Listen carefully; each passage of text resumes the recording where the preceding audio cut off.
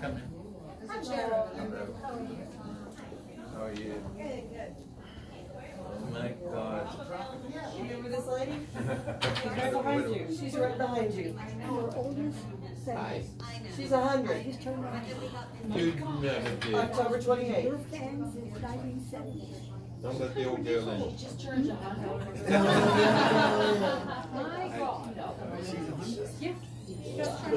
girl in. October twenty-eighth. October twenty-eighth. And you turned a hundred.